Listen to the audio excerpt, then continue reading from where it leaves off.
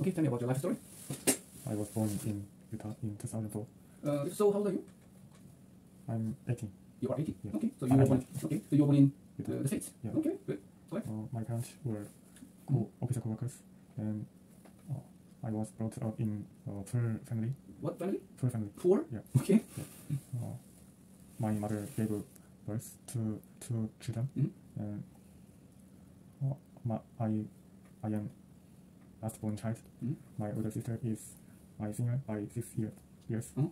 I didn't need special care because Mhm. uh, my family members were only four. Okay. Sometimes Mhm. when I was childhood, Mhm. I was left uh, at my grandfather's house. Mhm. When I Did you act? Yeah. Did you act like an adult? yeah, adults. Did you act like an adult? Yeah. 스탠스로 말해야죠. 여친해서 그 스탠스로 like 말해야죠. adult. 아니 문장으로 말하라고. Yeah, I behave like adult. Okay. What? Yeah, I, I, I,